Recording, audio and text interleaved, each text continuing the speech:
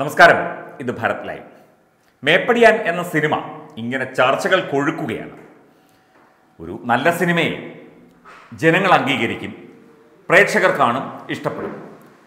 അഭിനയിക്കുന്നത് ആരാണെന്ന് പോലും നോക്കാതെ സിനിമ കാണുന്നവരുമുണ്ട്. അതുപോലെ തന്നെ പഴയകാല സിനിമകളൊക്കെ തന്നെ കഥാതന്തു കൊണ്ടും ആശയം കൊണ്ടും ഒക്കെ തന്നെ ഒരുപാട് സ്വീകാര്യമായ അവസ്ഥ നമുക്കറിയാം.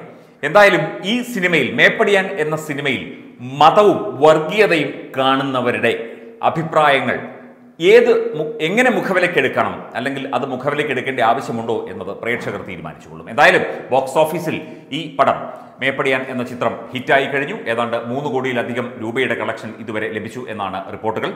മാത്രമല്ല എല്ലാ തിയേറ്ററുകളും നിറഞ്ഞു കവിഞ്ഞിരിക്കുകയാണ്. കുടുംബ സദസ്സുകളാണ് തിയേറ്ററുകളിലേക്ക് എത്തുന്നത്. കുടുംബാംഗങ്ങളാണ്. സ്ത്രീകളും കുട്ടികളും അടക്കമുള്ളവരാണ് ഈ കോവിഡ് കാലത്ത് പോലും ഈ സിനിമ കാണാൻ എത്തുന്നത് എന്നത് യാഥാർത്ഥ്യം. ഈ സമയത്ത് യുക്തിവാദി എന്ന ഒരു ഗ്രൂപ്പിൽ യുക്തിവാദികളുടെ ഗ്രൂപ്പാണെന്നാണ് പറയുന്നത് പക്ഷേ ഇത് വായിച്ചപ്പോൾ ഇതൊരു മതതീവ്രവാദിയുടെ ഗ്രൂപ്പാണ് എന്നാണ് തോന്നിയത്. അല്ലെങ്കിൽ യുക്തിവാദി ഗ്രൂപ്പ് ഗ്രൂപ്പിന്റെ അഡ്മിൻ എന്തിനാണ് ഈ പോസ്റ്റിന് അപ്രൂവൽ കൊടുത്തത് എന്ന് നമുക്കറിയില്ല. നാസർ അഹമ്മദ് കാമോത്ത് എന്ന് പറയുന്ന ഒരാൾ എഴുതുന്നു സഹോദരങ്ങളെ മേപ്പടിയാൻ എന്ന സംഖ്യപ്പടം ജനം കാണാതിരിക്കാൻ കഴിയുന്നതൊക്കെ ചെയ്യുന്നുണ്ടെങ്കിലും തിയേറ്ററിൽ അത്യാവശ്യം തിരക്കുണ്ട്.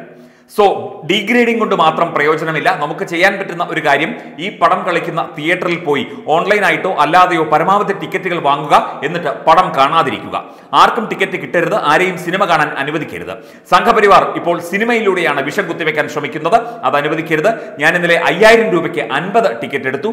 നിങ്ങളും ഓരോരുത്തരും കഴിയും പോലെ ടിക്കറ്റ് എടുക്കുക. ഇതല്ലാതെ മറ്റു വഴികൾ ഇല്ല. ഇത് നമ്മുടെ വിശ്വാസത്തിന്റെ മാത്രമല്ല നിലനിൽപ്പിന്റെ കൂടി പ്രശ്നമാണ്. ഇതിന്റെ പ്രതിഫലം നമുക്ക് കിട്ടും. ഒരു വഴിയിലൂടെയും സംഘപരിവാറിനെ വളരാൻ അനുവദിക്കരുത് എന്നാണ്.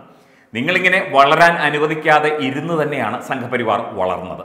എതിർപ്പുകളെ തൃണവത്ഗണിച്ചുകൊണ്ട് ചവിട്ടി മെതിച്ചുകൊണ്ട് പുല്ലുപോലെ വലിച്ചെറിഞ്ഞുകൊണ്ടാണ് സംഘപരിവാർ വളർന്നത്. ലോകത്തിലെ തന്നെ ഏറ്റവും വലിയ സാംസ്കാരിക സംഘടനയായി ജനോപകാര സംഘടനയായി ആർഷഭാരത സംസ്കാരം ലോകം മുഴുവൻ വ്യാപിപ്പിക്കുന്ന ഒരു സന്ദേശവുമായി സംഘപരിവാർ ഇന്നും പടർന്നു പന്തലിച്ചു കൊണ്ടിരിക്കുന്നു യൂറോപ്യൻ രാജ്യങ്ങളിലും ആഫ്രിക്കൻ രാജ്യങ്ങളിലും പോലും. നിങ്ങൾ എതിർത്തുകൊള്ളൂ. ഈ യുക്തിവാദി എന്ന ഈ ഗ്രൂപ്പിൽ യുക്തിവാദി എന്നാൽ ദൈവമില്ലാത്തവരാണ് എന്ന് പറഞ്ഞ് നടക്കുന്നവന്മാരാണ്. അവരുടെ ഗ്രൂപ്പിൽ വിശ്- വിശ്വാസത്തിന്റെയും മതത്തിന്റെയും കണക്ക് പറഞ്ഞുകൊണ്ട് ഇയാൾ പോസ്റ്റ് ഇട്ടപ്പോൾ അതിന് എന്തിന് അപ്രൂവൽ കൊടുത്തു എന്ന് നമുക്ക് ഇനിയും മനസ്സിലാകുന്നില്ല. നാസർ അഹമ്മദ് കാമോത്ത്.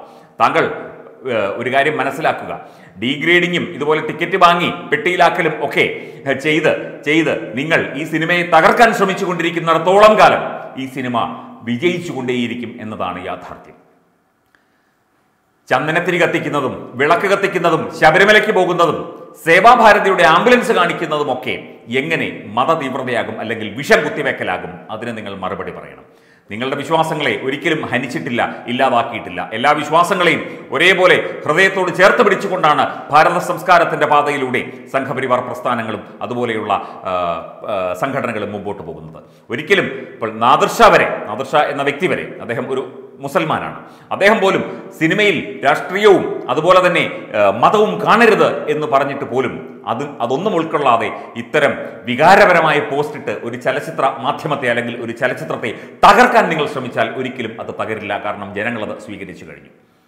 എത്രയേറെ പ്രതിബന്ധങ്ങൾ മറികടന്നാണ് ഇന്ത്യയുടെ പ്രധാനമന്ത്രിയായി നരേന്ദ്രമോദി അധികാരം ഏറ്റെടുത്തത്. മാധ്യമങ്ങൾ മാമാമാധ്യമങ്ങൾ മതതീവ്രവാദികൾ വൈദേശിക ശക്തികൾ അതുപോലെ ഇവിടെ ഇവിടെ തന്നെയുള്ള രാജ്യദ്രോഹികൾ അതുപോലെ കോൺഗ്രസ് പോലെയുള്ള രാജ്യവിരുദ്ധ സംഘടനകൾ രാജ്യത്തിനെതിരെ ചിന്തിക്കുന്ന സംഘടനകളും അതുപോലെ രാഷ്ട്രീയ സംഘടനകളും ഇടതുപക്ഷവും ഇടത് ജിഹാദി കൂട്ടായ്മകളും ഒക്കെ ചേർന്ന് എത്ര തകർക്കാൻ ശ്രമിച്ചു ആ മനുഷ്യനെ. ഇന്ത്യയുടെ പ്രധാനമന്ത്രി ആർ എസ് എസ്സുകാരനാണ് ഇന്ത്യയുടെ രാഷ്ട്രപതി ആർ എസ് എസ്സുകാരനാണ് ഇന്ത്യയുടെ ഉപരാഷ്ട്രപതി ആർ എസ് എസ്സുകാരനാണ്. എന്നിട്ട് സംഘപരിവാർ പ്രസ്ഥാനങ്ങളെ നിങ്ങൾ വലിച്ചു താഴെയിടാൻ ശ്രമിക്കുകയാണ് പക്ഷേ അത് നടക്കില്ല. വലിച്ചു താഴെയിടും തോറും പെട്ടെന്ന് പെട്ടെന്ന് പടികൾ ചാടിക്കയറുന്ന ചവിട്ടിക്കയറുന്ന ഒരു മഹാപ്രസ്ഥാനമാണ് അത്. സിനിമയും സംഘപരിവാറിനെയും കൂട്ടിയോജിപ്പിക്കുകയല്ല. ഒരു സിനിമ അതിന്റെ ആശയം സംവേദനം ചെയ്യുമ്പോൾ പല കാര്യങ്ങളും കാണിക്കേണ്ടി വരും. മദ്യപിക്കേണ്ടി വരും മദ്യ സദസ്സുകൾ കാണിക്കേണ്ടി വരും. മദ്യ സദസ്സുകൾ കാണിക്കുമ്പോൾ മദ്യം നല്ലതാണ് എന്ന സന്ദേശമാണോ നൽകുന്നത്? അല്ല നിയമപരമായ മുന്നറിയിപ്പായി മദ്യം ആരോഗ്യത്തിന് ഹാനികരം എന്ന് പറയുന്നുണ്ട്. പല കാര്യങ്ങളും കാണിക്കേണ്ടി വരും. അതുപോലെ തന്നെ പി ജി ആന്റണിയുടെ നിർമാല്യം എന്ന സിനിമയിൽ വെളിച്ചപ്പാടായി അവതരിക്കുന്ന വേഷം ചെയ്ത പി ജി ആന്റണി ഭഗവതിയുടെ മുഖത്തേക്ക് തുപ്പുന്ന ഒരു രംഗമുണ്ട്. ഇതൊക്കെ ഇവിടെ സിനിമയിൽ നടന്നിരുന്നു. ആയിരത്തി തൊള്ളായിരത്തി ഇരുപത്തി ഒന്ന് എന്ന സിനിമ ഇവിടെ എടുത്തിരുന്നു. അങ്ങനെ മതവുമായി ബന്ധപ്പെട്ടും അല്ലെങ്കിൽ മതത്തിന്റെ അതിർവരമ്പുകൾ ലംഘിച്ചുകൊണ്ടുള്ള പല സിനിമകളും ഇവിടെ മുമ്പും ഉണ്ടായിട്ടുണ്ട്. പക്ഷെ അന്നൊന്നും പ്രേക്ഷകർ സിനിമയെ സിനിമയായി കണ്ടുള്ളൂ. ജനങ്ങൾ സിനിമയെ കലാരൂപമായേ കണ്ടുള്ളൂ. ഒരു ജനകീയ മാധ്യമമായി മാത്രമേ കണ്ടുള്ളൂ. ഇന്നുള്ള ഈ തീവ്ര ഇസ്ലാമിസ്റ്റുകളും മത തീവ്രവാദികളും ഇങ്ങനെ കിടന്ന് കുരയ്ക്കുന്നതിന്റെ അർത്ഥം മനസ്സിലാകുന്നില്ല.